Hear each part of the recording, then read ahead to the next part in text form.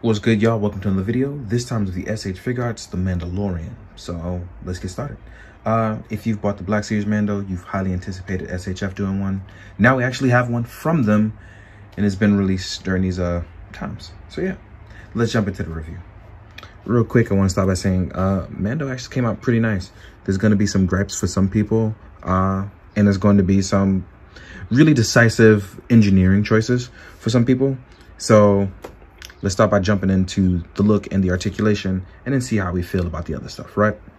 So here we have the Mando being the cool Mando that we know and we like. There is no wide cape, which is a little bit of a disappointment, but I can also see they've made uh, choices for the slit engineering design. I'm really actually disappointed there is no wide cape. I would have loved a free-flowing one, but hey. We have our bandolier attached to the belt. We have our design choice of the weapon flap, which actually I kind of like. I like that choice. But yeah, articulation-wise, I really think we have something really nice here. A little bit of a pet peeve with the uh, thigh swivel area and the chest bandolier, but otherwise I think it's actually pretty nice. Now, let's now that we have a full grown up and down look at them, uh, let's talk about articulation. Uh, we have our head, we can go up. We can look down just a little bit. We can also move the head a little forward to get a little bit further down, in case you have that in mind. We can tilt side to side, all that good jazz. We can tilt upwards for more expression as well too, in case you want to be a cool looking Mando, you know, looking at everybody sideways. For our arm articulation, we actually can rotate out. The shoulder pad is on the arm. We can rotate all the way around. Shoulder pad can go back up and the arm can go up. And that bandolier issue actually happened on camera. We'll get to that in a second. We have a rotating bicep swivel and our arms are double jointed. So you can actually punch yourself in the head for doing dumb stuff, right? Arms can go out. Now we have a torso swivel. We can go left. We can go right. Our biggest issue that we face, at least that I personally face, is that bandolier issue of the plug being removed. You can get really articulated with the bandolier because this tiny plug will pop out because it's supposed to basically fill in a gap for two parts. One being for when you have the rifle and this small one for being uh, when you basically are not using it.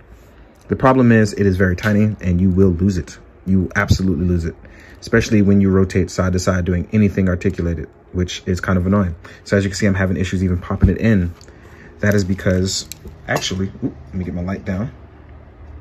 You need to line it up with the chest. That means the chest needs to be actually standing at a certain point which why this is going to become tedious when doing it. I'm absolutely probably going to leave this out, right? As you can see, I've plugged it in. Now watch this. I may lose this piece because of it. if you rotate, you'll see it gently come up and out. Even if I remove the bandolier up, it can stay in place just a little bit, but the more you move it around, the more likely it'll come out and become loose. That's actually gonna be quite a pain, so I'm gonna leave it out but you actually get a decent crunch going forward from the upper torso. It's not gonna be anything crazy or special, but it does look pretty good for a guy in armor. For being realistic, you're not supposed to have any real ab crunch in an armor that stretches down to your waist like this. So, but you got some pretty decent movement, right?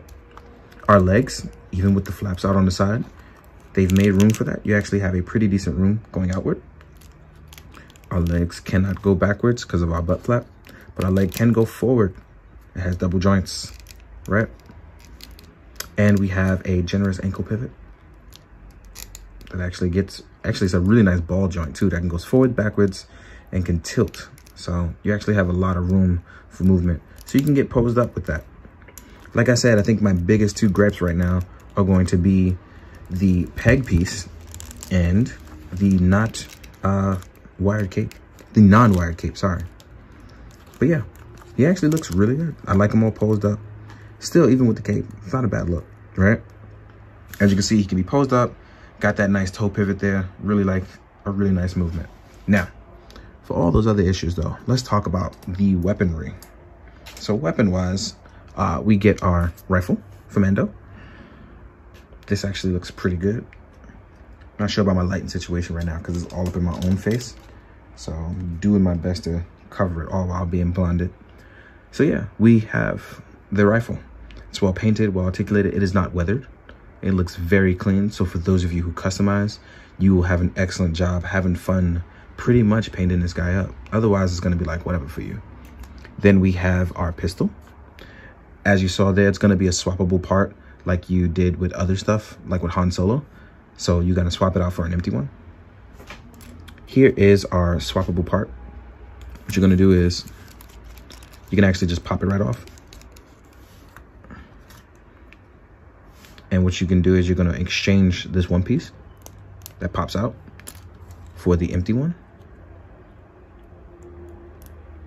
And then pop it right back on the side on the two tabs. I'm to leave it off for a little bit though. Then we have our chest, well, sorry, our chest piece for the bandolier.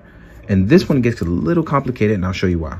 Because you plug it in, well, I'm to have to stand him straight up, which is kind of annoying because I want to leave him in that cool pose. so, yeah.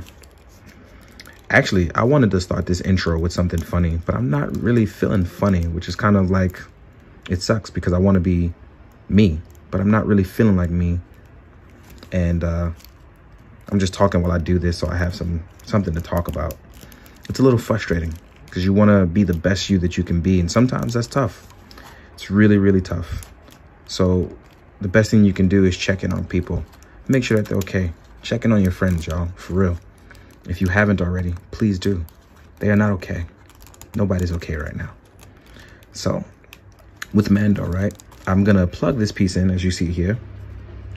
Goes right over. I'm gonna tap that cape down. You are going to get interchangeable parts for your rifle. And here's what's really cool about it, right? I'm going to separate the rifle into three pieces. This middle piece will get swapped with another piece this piece is going to have a part here that allows you to have the tab in for the back. I'm gonna just find the right parts for the rifle. All right. Tab it all in. I think something happened to one of my rifle pieces. I'm not sure what that is on there, but yeah. And then on the top, and this is gonna be very difficult to see, there's going to be a very small tab that you're going to pull out and this is what I was talking about with a funny engineering choice. When I feel like this could have just been one of those things that plugged in normally and it's just not because here with the opening slit, they want you to put this through the slit and plug it into this back piece, which my focus is not there. You're gonna plug it into the back piece first so that it plugs in and hangs on and then find this plug piece and have it hang over the shoulder. Now, design-wise, this looks great when you are standing straight up, but it does not hold in place. It does not, it's, a, it's a little bit of a struggle, and I just don't like the fact that tabbing this in is more of a chore than it is enjoyable. So, as you can see here, Part swapping on the Mando is a complicated profession. So yeah, as you can see here, it's on, it's, it's nice, and it looks sturdy, but tabbing it in that first issue is kind of complicated and a little bit tedious, especially for those of you who may have twiddly-dee thumbs like me and will drop everything. When standing the Mando straight up, this will look absolutely awesome. Doing any action pose with him may prove to be difficult, so try not to get a little too crazy with that. So yeah, you know, toy collecting, this uh, toy collectors, I should say, please be prepared for that, right? Um, then we have our hands. So I'm gonna leave all of this stuff on because like I said, you've watched me do it on camera profusively. So yeah, we have our open, relaxed hands. Sorry, these are open action hands. As you can see here, we have our open, relaxed hands. These a little bit more uh, relaxed when walking or holding an item. This one is definitely for holding the rifle in the hand. This is going to be your, your left hand for the rifle. You have your right hand strictly for the pistol. And you have your right hand strictly for the rifle. This is going to be a wider grip than that of the original pistol hand, as you can see. Oop, now you can't see my fingers in the way, but now you can. So yeah. One of the cool things is if you have any other SHF stuff, right? If you use the uh, wider, if you use the, the pistol hand, you can use a lightsaber, put it into the pistol hand, right? Or if you're a guy who collects Black Series, right? For the Black Series, you can actually put them into the rifle holding hand. And I know if you see my Black Series review, you saw that I use lightsabers. So, you know, I'm with the shits, right? As you can see here. You can have some fun with that. But yeah, I think that just about covers everything. Personally, I think Mando came out excellent. Um, I just think that the engineering choices for the bandolier swapping option may be a little too complicated for some people. So it may not be one of those things that you sit down and do multiple times. If you're definitely going to do it, you're going to choose one. But as a toy photographer, you don't have that choice. You're definitely going to be swapping and swapping and swapping around parts. And so please don't get extremely frustrated. Just only get frustrated. like me right now with this tabbing on, I'm scared on camera because as always, I have crazy camera anxiety. So yeah, but y'all put up with me, so I appreciate that. There we go. Right? So I'm gonna stand him straight up and then I'm gonna compare him to a bunch of other stuff, all while doing that really cool swipe down thing that I've been adding on lately, trying to get good at editing, y'all. So now we're jumping into the part where we go over the size comparisons. First things first, I'm gonna compare this guy to Boba Fett because that's what everyone wants to see. I have the SHF Boba Fett. Um, my Mafex one is somewhere up in the attic. I'm not gonna look for it because you already know that he is taller, so it doesn't matter. Um, yeah, this was just like next to the SHF Boba Fett. And until we get a Mafex Mandalorian, I don't see the point in size comparison the two, at least until Mando season two comes out, because that's gonna be for you guys. and you guys alone. Maybe I'll do it in the photos, you know, never know. Here he is next to the Hasbro Ham, which is the heavy Mando. As you can see here, uh, still bigger size discrepancy, but the regular Mando uh, is a little bit taller, and I'm gonna show you how and why, right? When compared to the Black Series one, the SHF is actually taller, which is something I technically didn't expect. Now, it's weird though, right? Because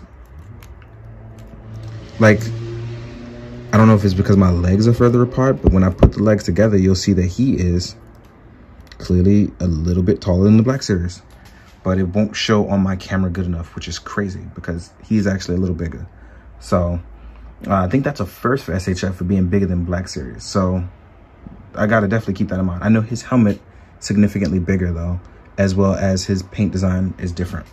So yeah when you want to compare this guy to other Star Wars stuff though, uh, size-wise, let's uh, try some stuff out. So here's Chewie. Here is Cara Dune. This is a Black Series one because I don't think SHF is going to do one of her.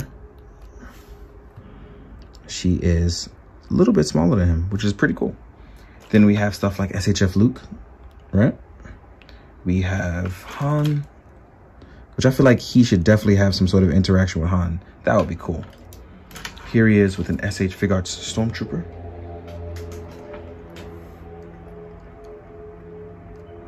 Oop, I forgot how loose my Stormtrooper is. This guy may not make it. right? Yeah, some pretty good uh, size comparisons with that. Now we're gonna do a next batch. This is going to be a Hasbro Black Series Stormtrooper. Then we got SHF Kuuga as always, your main man. Here is a 1000 Toys human, which can definitely fit into the Star Wars universe because there's all sorts of life forms, especially droids. And articulated icons, ninja. Then we have stuff like Mythic Legions, which is gonna be bigger, but I'm gonna so I'm gonna put that in the background. Then last but not least, we're going to do a Mezco, which is gonna be Mezco Me. I always have them on display, so it's always handy dandy to get to them. And as you can see, even uh, the Mezco Me is bigger. So yeah. All in all, nice piece. A uh, little bit of a weird tech design um, with the bandolier, which I'm still a little weirded out by. But again, uh, this is a Japanese release only. There won't be a stateside domestic release because of that ban on Star Wars. If you didn't know about it, that's a long history for another day. But all in all, I think this is something definitely worth buying, especially if you've enjoyed The Mandalorian. One last size comparison for you all that I didn't think about. Here is my Baby Yoda from Kinesthetic that I got when he visited me here in the US. And here is a Black Series Baby Yoda. for you guys to see. So yeah, if you guys have enjoyed this, please like. You don't have to sub. Just like like the video. Um, I hope you've enjoyed it. Hope you found it informative. And as please, always, be good, do good, drink your water. Later.